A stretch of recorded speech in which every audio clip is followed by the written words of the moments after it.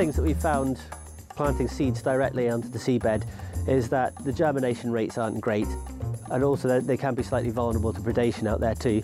So what we've done here is we've just set up this very small scale trial seagrass nursery uh, with the aim of investigating ways of improving germination rates using different sediment types. Um, and the idea is that we grow the seeds on to seedling stage and then transplant those seedlings from the nursery onto the seabed.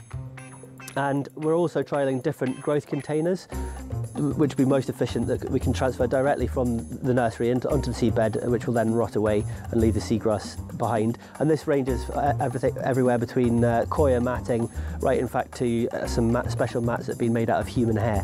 So we'll see how that goes.